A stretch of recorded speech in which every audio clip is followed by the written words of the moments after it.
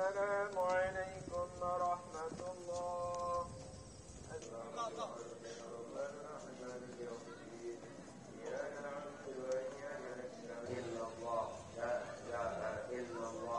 Pada pukul 17.30 sore hari ini, kita sudah melakukan penyisiran mulai dari pembagian tiga tim menjadi uh, serunya ada tiga. Uh, seru pertama itu pencarian sekitar 500 uh, meter persegi di sekitar dari LKP dan diduga terjunnya.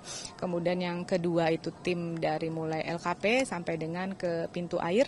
Kemudian yang ketiga itu penyisiran dengan berjalan kaki dan menggunakan drone hari ini 17.30 eh, tidak diketemukan korban lagi selain yang tujuh ditemukan tadi pagi.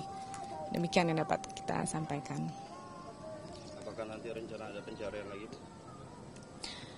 Uh, untuk hari ini dicukupkan sampai hari ini. Nah, dimungkinkan apabila nanti dari pihak kepolisian ada yang melaporkan, gitu kan, terkait uh, mungkin lagi ada saksi, uh, kami akan tetap membantu untuk melakukan pencarian apabila. Pencarian lagi karena memang ada informasi terdapat jumlah korban atau seperti apa?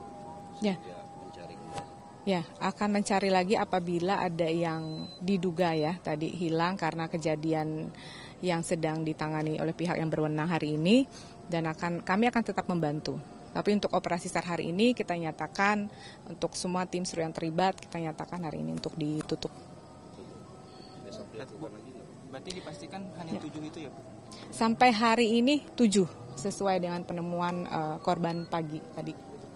dari para korban apakah sudah diidentifikasi terkait umur, jenis kelamin dan juga mungkin eh, apakah nanti akan eh, apakah dia berasal dari Oke baik, untuk pertanyaan itu mungkin ada pihak yang lebih berwenang menjawab ya. Nanti ada dari kepolisian dan juga dari eh, Bapak Camat yang nanti wilayah eh, di, kalau udah ketahuan korbannya siapa mungkin seperti itu.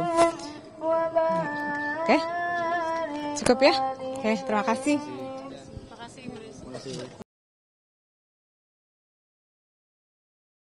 menjunjung tinggi prinsip jurnalisme dalam setiap tayangan terbaiknya, menghadirkan berita bernilai sebagai referensi, gelar bicara yang tajam, Tidak, ini kan kebohongan dok.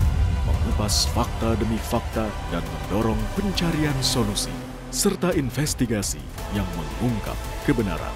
Rosi, Satu Meja, The Forum, Sapa Indonesia Malam, Nilu, ikuti semuanya bersama Kompas TV.